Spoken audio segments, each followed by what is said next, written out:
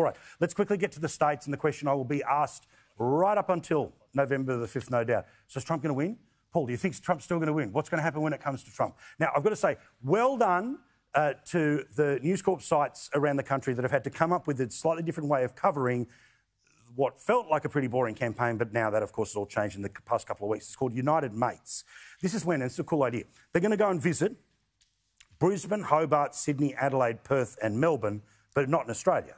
They're going to Brisbane in California, Hobart in Wisconsin, Sydney in Ohio, Adelaide in Pennsylvania, Perth in Delaware, and Melbourne in Florida to say, hey, what do you guys think of what is happening with this election? And this is part of their series that's up on the websites now. It's a good idea. When we left office, the country was in far better shape than when we came into office. The economy was, was on fire. Uh, he didn't get, get, us involved in any wars. He's the scariest human being that I've ever encountered in the United States of America. I think he wants to be a dictator.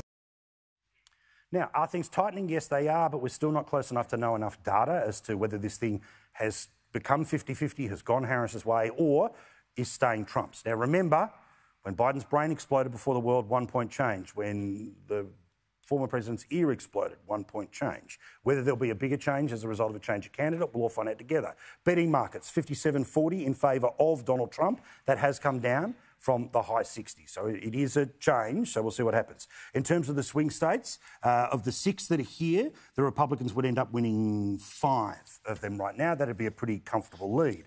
But the media is doing its best, including CNN, to tell us that Kamala Harris is Obama in a skirt and Hillary with a brain. I think she is someone who comes across as very fun, as very engaging, as very relatable. I can tell you that's been my experience with her whenever I've interacted with her. And she is someone who really cares about people and is sort of like a cool aunt in a lot of ways. The cool auntie radio. Um, now, also, but then JD Vance, who is a problematic figure, and I'll get to that tomorrow night uh, with what some of the issues are with him as the running mate, but he's kind of mini Trump, right? No apologies, double down, including having a crack at the media because the media are the ones who held up Biden and now are trying to pump up Harris. We've got some of our, our friends in the media back there, and after they, they deserve it. I don't think I look like him.